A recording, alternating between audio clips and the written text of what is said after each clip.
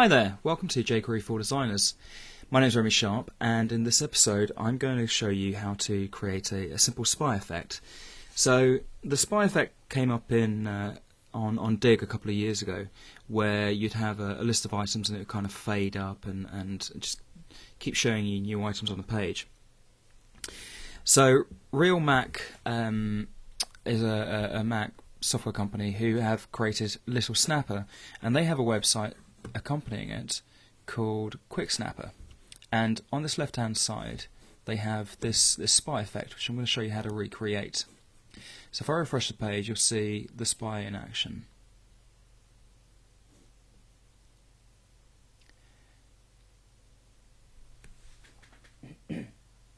So what's happening here is it's fading away at the bottom, sliding down, and bringing in a new one. Now this isn't done with, with any, any Ajax, and if I show you with um, with JavaScript disabled, how am I going to disable JavaScript?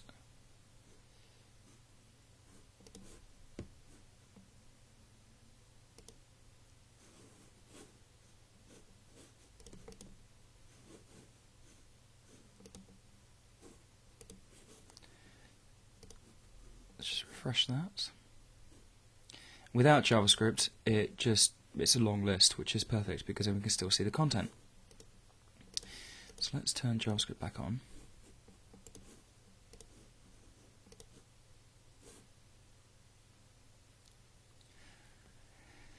So, what is happening behind the scenes here is we've got a long list of maybe 20 items, and we're doing the setup task of reducing that down to 5 and we're going to cache a copy of each one of these list items. So if we give a quick look at the uh, source, oops, sorry,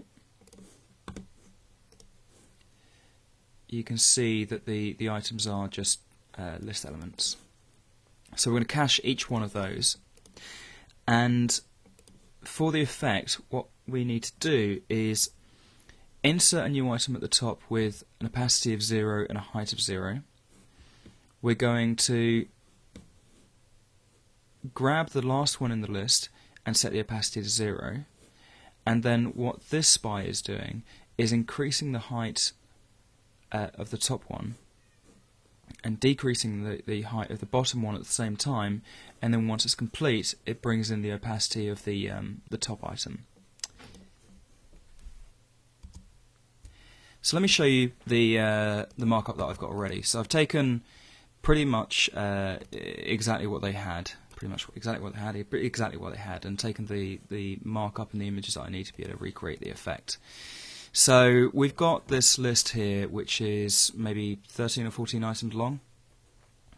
And one of the uh, the, the the nice things about this particular bit of markup is that all of these LIs are 90 pixels high, I believe. Yes. So because they're 90 pixels high, we know um, we're working with a kind of a set height, which I'm going to do a bit of performance tuning at the end, um, and it's because it's a set height that it works.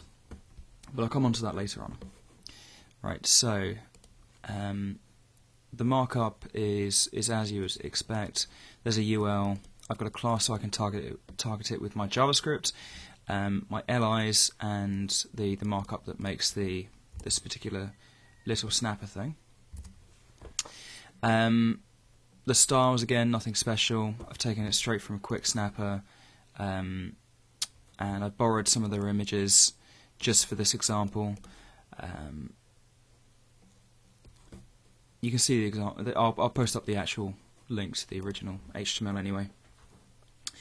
So let's pull in jQuery and when the document is ready we're going to apply our spy. So ul.spy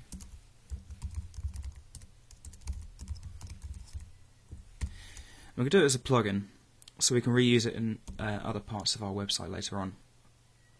So the way that uh, we'll do a plugin is we wrap it in this anonymous function.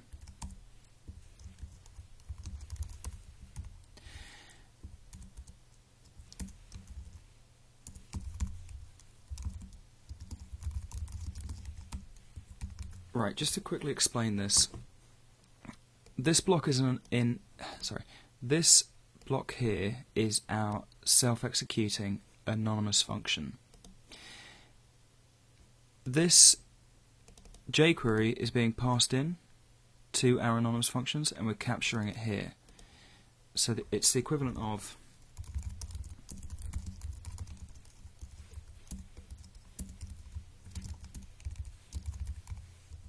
and then me calling test with jQuery. Okay, so I can wrap this in brackets. I, am not. I don't think I actually need the brackets, but I could I could wrap it in here, and this function will get called straight away, and jQuery here will get passed in to this value, and I can have anonymous functions just like this. So this is our, our plugin pattern. this is how we create a new plugin. So um, jQuery.fn.plugin name equals function. And I'm going to give it just two options for the time being, limit and interval, and that's the speed at which it runs. So limit is going to be equal to limit or four. So this that syntax is the same as saying if there's uh, type of limit is equal to undefined, then limit is equal to 4. in fact, it's equal to that. And I'm going to say the interval is equal to interval or 4 seconds. I've given this a, a few tests. 4 seconds is about the time you want to you want to do the effect uh, for because the time it takes to to animate the different blocks. If you if you have this number any lower, maybe maybe lower than two seconds, uh, the effects start sitting on top of each other and they they start to kind of um, uh, overlap and it, it causes a bit of a mess. So with our plugin, we do return this dot each. That's pretty much a standard thing you'll see in all of all of uh, the, the plugins that you write. And this is where all the magic happens. So, what do we need to do? Step one, setup. Step two, effect. Now, within a setup, we need to capture a cache of all the list items and then we need to basically chomp this down to, to four items. So um, chomp the list down to limit, as in the limit variable, limit um, li elements. Okay, so let's do this first. So I'm going to capture a copy of the, the list itself. And I'm just going to comma separate my variables here. So items is the, the cache. Current item is a pointer to um, which one of these in the list that we're going to show next at the top. So that's going to be equal to limit plus 1. So what we're going to do is we're going to we're going to trim the list down to this limit of four by default, and then we're going to show the next one at the top. So it will take these four to be shown by default, and it will bring this one in at the top. So that's what limit plus one will do. I need to keep track of the total number of items, and at the moment it's going to be items.length, but because we haven't initialized this, it's the same as zero, so we need to remember to initialize later.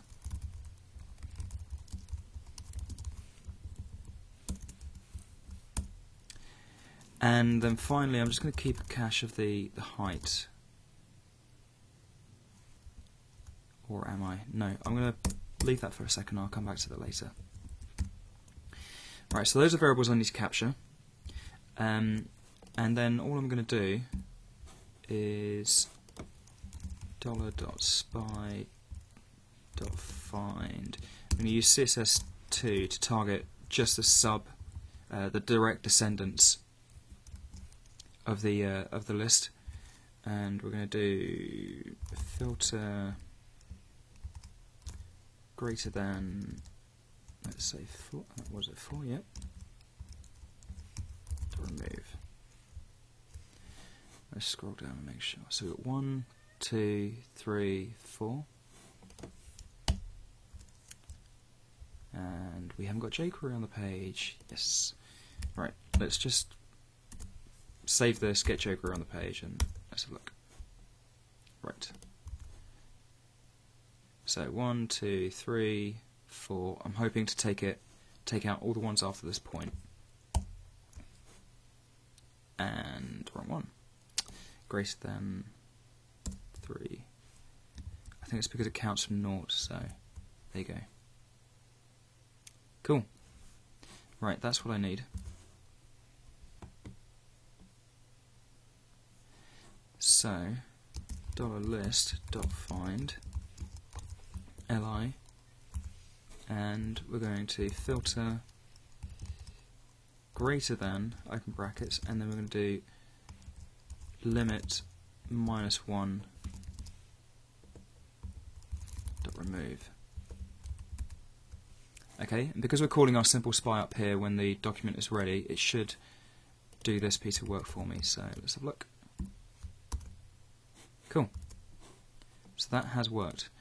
Uh, the problem is I need to actually cache my uh, my items first. Capture the cache. So what I need what I need to do here is just list.find li.each. So I'm going to loop round the li elements that are a, a direct descendant of this UL, and I'm just going to grab the HTML. Um, I tried this. I tried the same process using cloning, so using just straight kind of node cloning, and I seem to have a bit of a problem after we we finished using them in the first loop. So uh, the QuickSnapper example actually uses the, the HTML from the the li element. So I'm going to use the same technique, and it does work, and it it it, it doesn't corrupt it as it keeps kind of using it. So um, items dot push, and we're going to do this dot HTML. Now, I'm just going to do a console.log of items so you can see what we've captured. Let's do length. Okay, so we've got 13 items, and if I just show you the first one,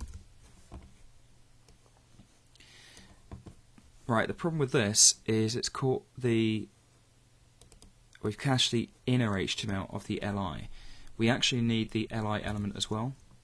So I'm just going to wrap this with li.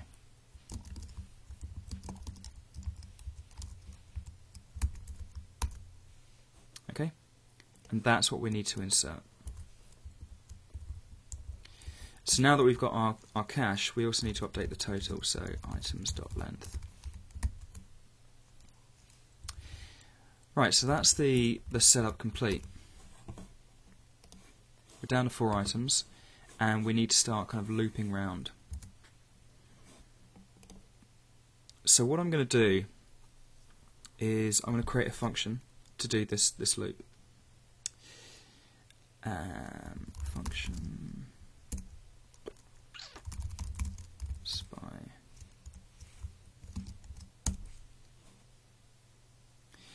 Okay, so the, this is a private function inside of uh, this particular loop. The reason I'm calling it a function is because I'm going to. Uh, uh, the reason I'm creating a function is because I need to call it in a set timeout, so that it's a four-second delay. So I need a named function to go back to. Um, I could pass in an anonymous function, but um, I might want to look at reusing this function and um, using like mouse overs to stop the timeout and to restart it again. So by having an actual function, I can I can name something to stop and start.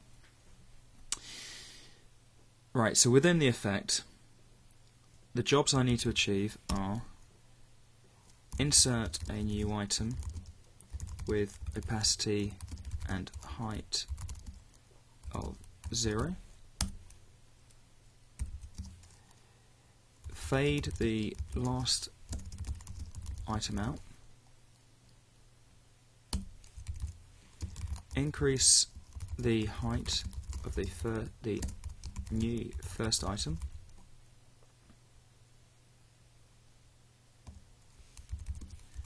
And then fade the oh sorry. And at the same time decrease the height of the last item and finally fade the first item in. And we can hide. Uh, sorry hide. We can remove the last item at the same time. So insert new item. Just going to capture called dollar insert and I'm going to do uh, items current. So if I show you items current. Current is equal to zero. No it's not sorry. It's equal to uh, 5 so I'm just going to show you it here. Items current item uh, since there's no real kind of indicator of what it is but that, I mean that that's the fifth one down basically.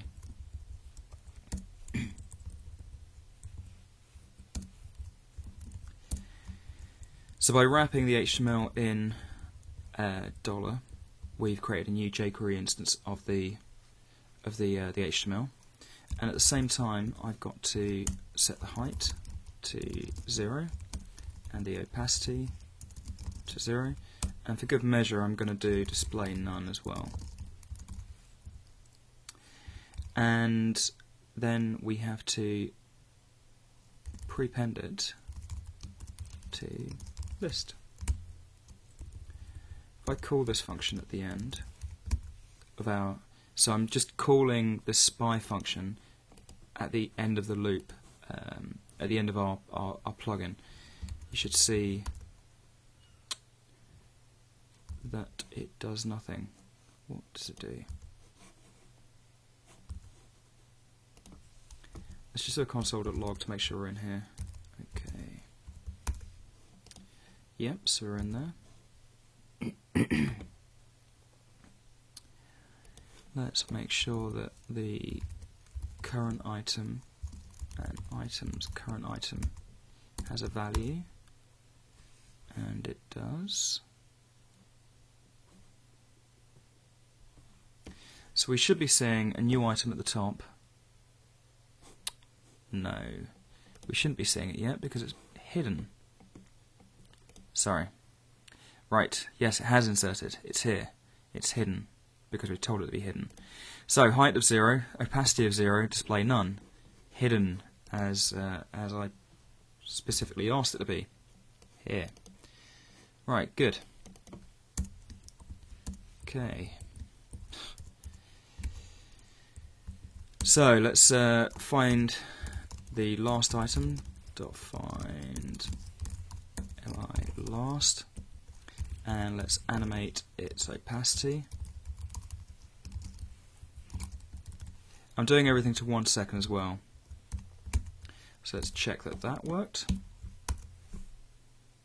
Yep. And when that animation is complete, we're going to call a callback. So if you have a look at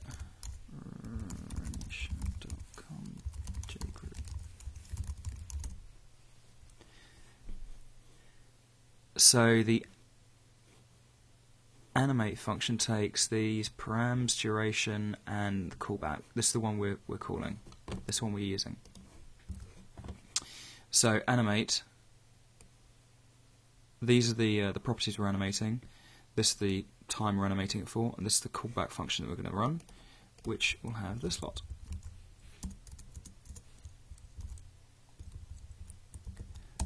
So now we're going to do dollar insert, and this is why we cached it because I need to change the uh, the height.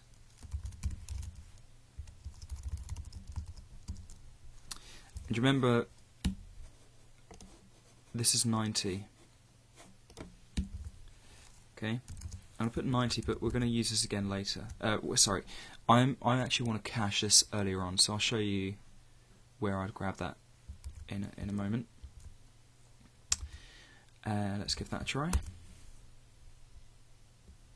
Cool. And what do we want to do? And let's animate the opacity as well.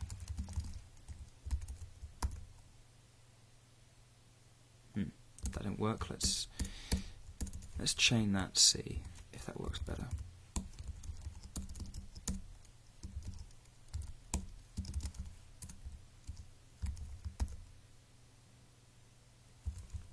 Okay. So, like I said, I want everything running at one second, so I'm just putting this one second here. So by chaining it, what I've said, what I've told jQuery to do is run this animation for one second, and once it's complete, run this animation for one second. So it will slide down and then fade it in. Okay.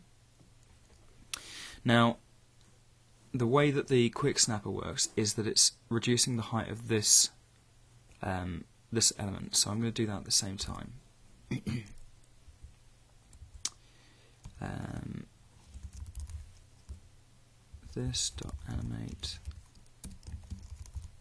height not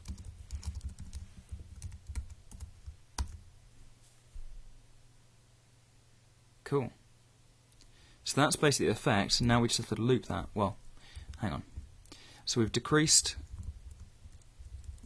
let's put that there. decrease the height of the um, of the last one at the same time. And finally we remove, remove the last item. Now I'm going to do that as a callback. Because if I try and remove it before the animation is complete, you, will see what will happen. Okay, so let me just show you that again. Here it snaps up. by putting it at this point, when the animation is completed, it's removed it because uh, at the point in which the two the, the, the two LIs are exactly the same height.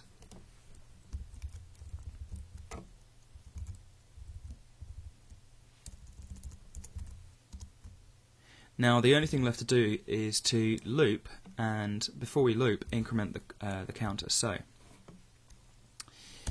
we're going to do current item increment by 1 and to say if current item is greater than or equal to total then current item is equal to 0 so because this is an index starting from 0 um, and total is 13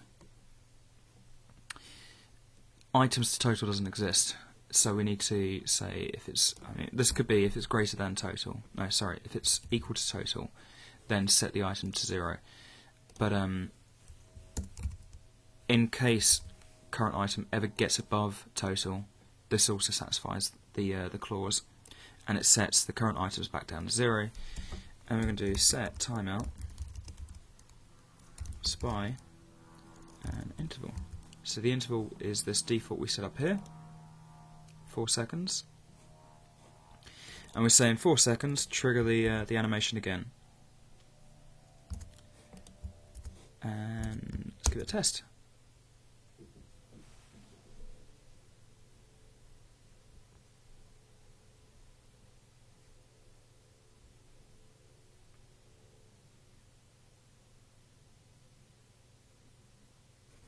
Cool. And that will loop round forever now.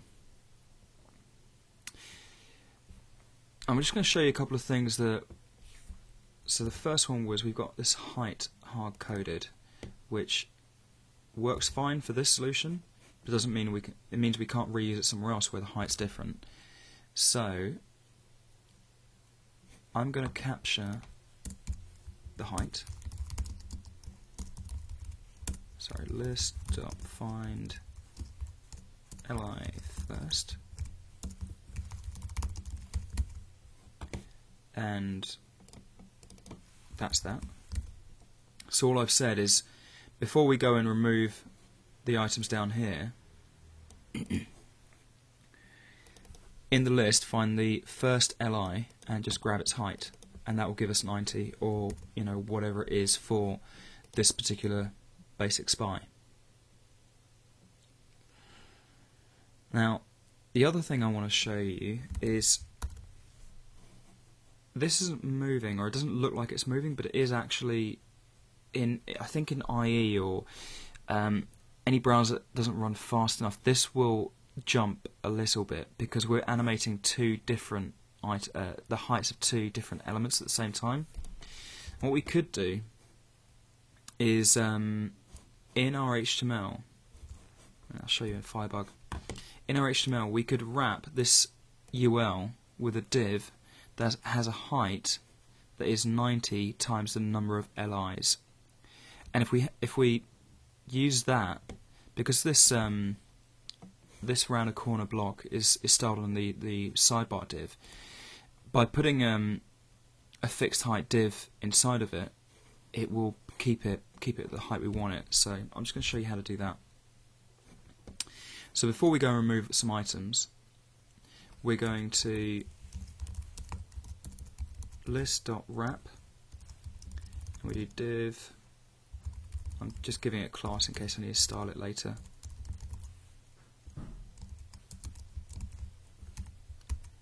Okay. And let's just refresh and you can see. I'm going to have a div here and what I'm going to do is just chain dot parent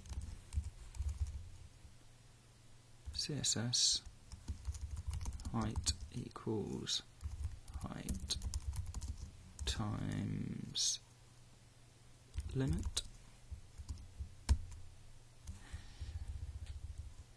Let me just test if that works and I'll explain what's happening. Excuse me so I've got this div of uh, 360 what I've done here is if I take I've taken the UL that I've cached at this point, I've wrapped it with the div which you saw, and because the context of my selector is still this UL, I've called this parent function, which changes my selection to this current div. So if I show you um, in just a bit of jQuery on the on here. Um,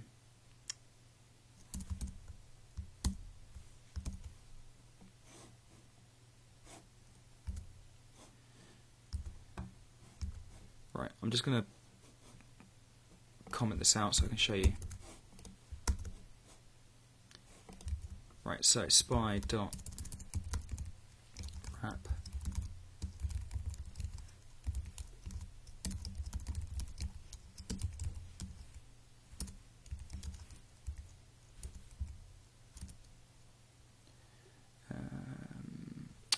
A good way of doing this?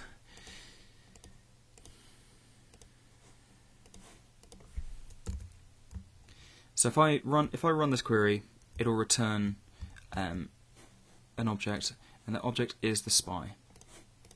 Now, if I run it again and call dot parent, you can see it's the spy wrapper. Okay, so I've gone from here to this point. Okay? And by doing that, I can then chain I can I can chain and say the the CSS height is height which we've got here which is 90 multiplied by the limit.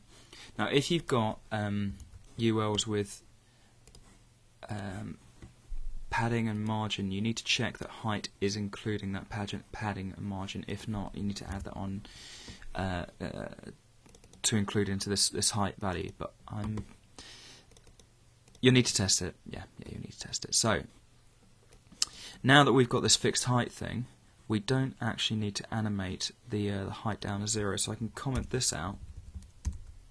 So we just do this dot remove, and let's have a look.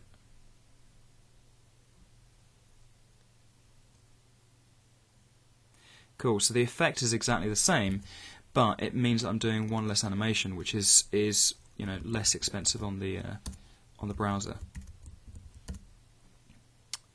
So that's it. I'll uh, I'll put it up with the I'll put it up with the commented out. Yeah, the the commented out animate so you can have a look yourself. And that's it. If you've got any comments or feedback or suggestions or requests, go and have a look at jqueryfordesigners.com. And um, in hopefully next week, if I've got time, or the following week, I'll be uh, doing some of the API um, screencasts. Alright, thanks for watching.